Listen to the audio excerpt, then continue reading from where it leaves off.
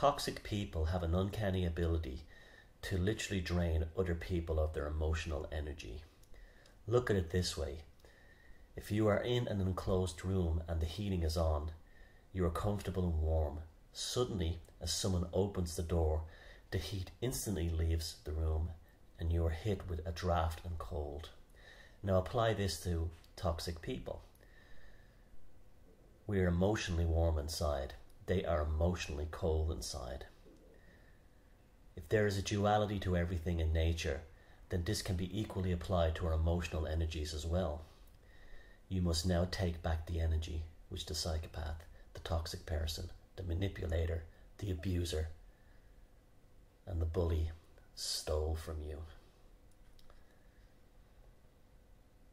Find a dark, quiet, comfortable room with no interruptions. Relax and pay attention to your heartbeat.